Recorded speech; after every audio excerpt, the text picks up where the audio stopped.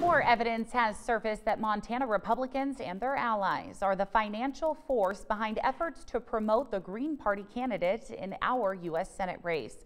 Last month, the Go Green Montana PAC was formed to promote Green Party Senate candidate Wendie Fredrickson of Helena. Now, MTN News has learned all $45,500 of the PAC's money came from a conservative Texas-based group called CSG Action.